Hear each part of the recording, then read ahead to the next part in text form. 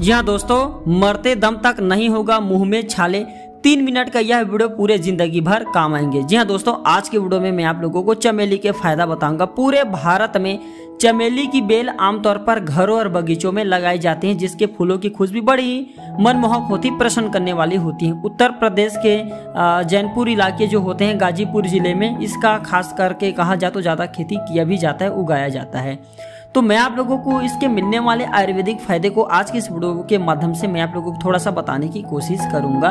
और अगर थोड़ी भी जानकारी पसंद आती है तो वीडियो को लाइक ज़रूर करना। देखिए, चमेली को अलग अलग जगहों में अलग अलग नाम से जाना जाता है। हिंदी में चमेली, मराठी में चमबेली और गुजराती में चमबेली के नाम से जाना जाता है। इसे अंग्रेज़ी में जासमीन के नाम से जानते हैं। आप कैसे किस नाम से जाना जाता है, हमें कमेंट सेक्शन में ज़रूर बताना। इसका स्वाद तीखा होता है, सुगंधित होता है और चमेली के पत्ते हरे और फूल फूल सफ़ेद सफ़ेद रंग के होते हैं। जी हाँ इसे चमेली भी बोलते हैं और इसे कई जगह चमबेली के नाम से जानते हैं और अंग्रेज़ी में हम इसे जासमीन के नाम से जानते हैं। तो इसके मिलने वाले फ़ायदा को मैं आप लोगों को अपने इस वीडियो के माध्यम से समझाने की कोशिश करूँगा। अगर आप इस प्रकार के आयुर्वेद की जानकारी में थोड़े भी इंटरेस्ट रखते हैं तो आप हमारे चैनल को फ्री में सब्सक्राइब कर हमारे साथ जुड़ सकते हैं। इसकी तुलना नरगिस से किया जाता है। जी हाँ दोस्तों तो ये किस प्रकार से मुँह के छाले को दूर करता है वीडियो के बीच में बताऊँगा। इससे पहले आप लोगों को इसका मिलने वाले ढेरों सारे फ़ायदा को बता देता हूँ।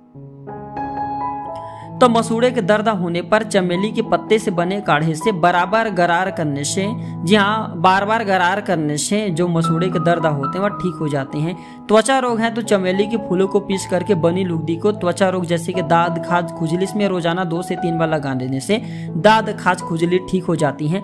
मित्र नपुंसकता दूर करने के लिए, शीघ्र पतन दूर करने के लिए इसके पत्ते का रस तिल के तेल में बराबर मात्रा में मिला करके आग पर पका ले। जब पानी उड़ जाए और केवल तेल शेष रह जाए तो इसके तेल की मालिश शीश न पर रोज़ाना सुबह शाम करते रहना से नपुंसकता और शीघ्र पतन नष्ट हो जाते हैं। खूनी बवासीर दूर करने के लिए चमेली के पत्ते का रस तिल के तेल की आ, तेल के तेल में बराबर मात्रा में मिला करके आग पर पकाएँ। जब पानी उड़ जाए और केवल तेल शेष रह जाए तो इस तेल को गुदा में दो से तीन बार नियमित रूप से लगाया जाए इससे खूनी बवासीर नष्ट हो जाती है। मासिक धर्म की रुकावट दूर करने के लिए चमेली के पत्ते का फूल व जड़ सभी को बराबर मात्रा में लेकर के पानी पानी में उबाल करके काढ़ा बना ले और इसे छान करके लगभग आधे कप की मात्रा में सुबह शाम पीना चाहिए। इससे मासिक धर्म की रुकावट नष्ट हो जाती है। सिर के दर्द दूर करने के लिए इसके फूलों को लेप या चमेली का तेल कपाल यानी कि मस्तक पर लगाने से या थोड़ा सा मालिश कर देने से सिर के दर्द दूर हो जाते हैं। आँखों में दर्द हो रहे हैं तो आँखों के दर्द दूर करने के लिए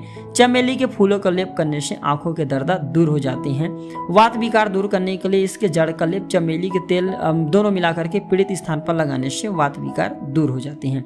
डिप्रेशन तनाव दूर करने के लिए भी मित्रों इसका प्रयोग कर सकते हैं। जी हाँ मानसिक तनाव के कारण डिप्रेशन आ गए हैं तो इसे दूर करने के लिए इसका तेल सिर पर मालिश करना बहुत ही ज़्यादा लाभकारी होता है। आइए जानते हैं किस प्रकार से छाले को दूर करते हैं। तो मुँह के छाले दूर करने के लिए चमेली के पत्ते को मुँह में रख करके पान की तरह चबाना चाहिए। इसे मुँह के छाले, घाव व मुँह में सभी प्रकार के जो दाने आ गए हैं, वह नष्ट हो जाते हैं। तो ये थे छोटी सी जानकारी इसके मिलने वाले फ़ायदे के बारे में। वीडियो देखने के लिए धन्यवाद दोस्तों नमस्कार